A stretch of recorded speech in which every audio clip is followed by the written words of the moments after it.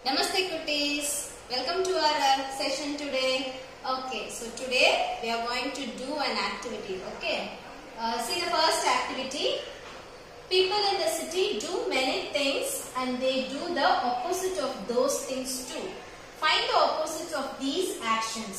So என்ன அப்படின்னா நம்ம இந்த போயம்ல பார்த்தோம் இல்லையா ஸோ இந்த சிட்டியில் இருக்கிற பீப்புள் எல்லாமே என்ன பண்ணிட்டு இருக்காங்க ஸோ அவங்க வந்து நடக்கவும் செய்வாங்க நடக்காமலும் இருக்காங்க ஸோ ஒரு விஷயம் செய்வாங்க அதோட ஆப்போசிட் விஷயமும் செய்வாங்க கரெக்டா so today our activity is here they have given you four words yes so இந்த வேர்ட்ஸோட ஆப்போசிட் விஷயத்தை தான் நீங்க எழுத போறீங்க. Okay for example walk fast அப்படின்னு இருக்கா? ஸோ வாக் ஃபாஸ்ட் ஸோ இங்க ஃபாஸ்டோட ஆப்போசிட் என்ன? ஸ்லோ ஸோ நீங்க இங்க என்ன எழுதுவீங்க வாக் ஸ்லோ அந்த மாதிரி.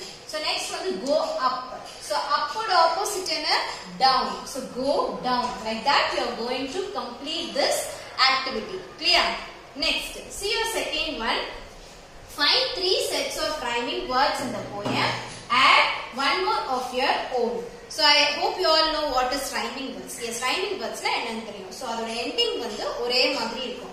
So இங்க நீங்க என்ன பண்ண போறீங்க அப்படின்னா மூணு ரைமிங் வேர்ட்ஸ் வந்து போயம்ல இருந்து கண்டுபிடிச்சு எழுத போறீங்க எழுதிட்டு லாஸ்ட் இருக்கிற ஒரு ரைமிங் வேர்ட் உங்களோட ஓன்ல நீங்க எழுத போறீங்க ஃபார் எக்ஸாம்பிள் இங்க ஸ்லோ கோ அப்படின்னு எதுல எதுல இருந்து எடுத்திருக்காங்க போயம் வந்து எடுத்திருக்காங்க ஸோ தேர்ட் ஒன்னும் இதுக்கு ரிலேட்டடா இருக்க ஒரு ரைமிங் வேர்டை நீங்க போயம் வந்து எடுத்து எழுதிட்டு ஸோ அதுக்கு இருக்கிற மாதிரி இன்னொரு ரைமிங் வேர்டை நீங்க உங்களோட ஓன்ல எழுத போறீங்க Okay children, I hope you understood the activity.